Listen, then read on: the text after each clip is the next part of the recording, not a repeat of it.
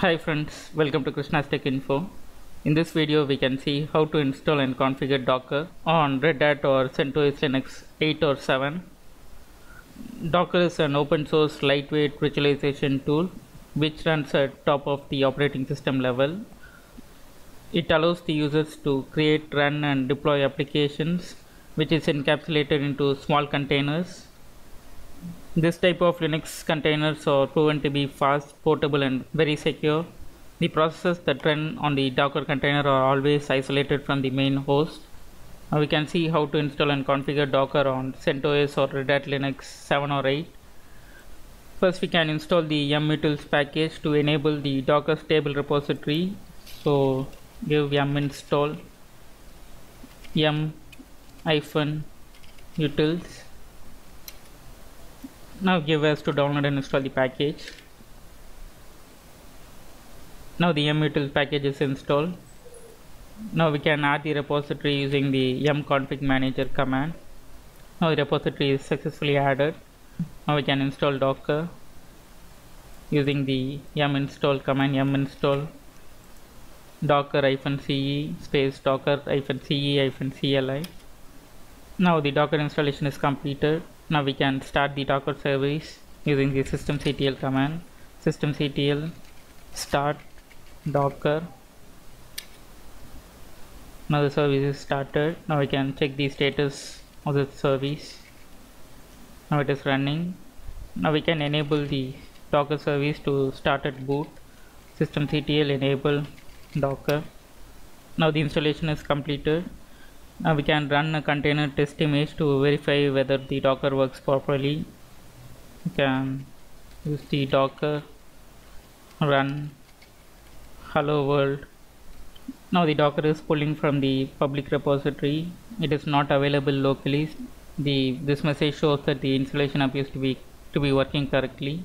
The message the docker took the following steps to pull the hello world image from docker hub now we can see the basic commands that we can use in docker.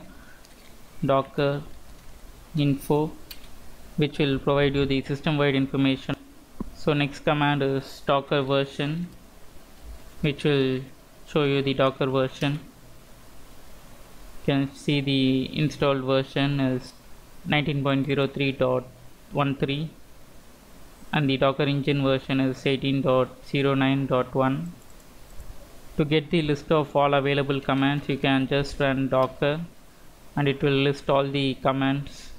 And you can also get the options for each command using the docker command help which will show you the available options for the specific command. Next we can see how to download a docker image. First we can search the images available. Docker search ubuntu now we can see the available images from the docker hub. The docker hub provides you a lot of free images from its repositories. So now we can pull the ubuntu image using the docker pull command docker pull and the image name. You can see the name here. It's ubuntu and now give enter. Now it is downloading the docker image Mm-hmm. now the image is successfully pulled. Now we can list the available images in this host machine. Use the docker images command to list all the images. You can see the two images available which is ubuntu and hello world. Next we can see how to run the docker container. You can use the docker run and the image name ubuntu. And you can run the commands I'm going to run the cat etc issue command. Now you can see the Ubuntu version that is available in that image. You can use the ps-l command to list the running and stopped containers. Now it is listed. Now to start the docker container you can use the docker start and the container id you can give to start the container. Now the container is started and if you want to stop the container you can use the docker stop and the container id to stop it. Now we can see how to add the name to the docker container. Can use the docker run hyphen hyphen name option and give name for the container. Going to give it as ubuntu 20 and the image name space. You can execute the command then after using the then after setting the name you can start it using the which you have set. I'm going to start it now. And to check the stats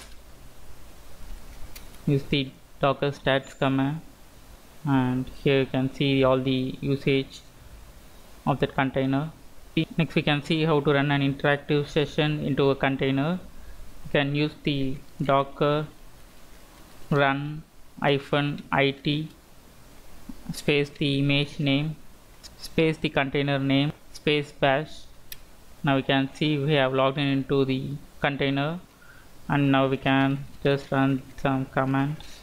You can see the ubuntu kernel version ubuntu os version.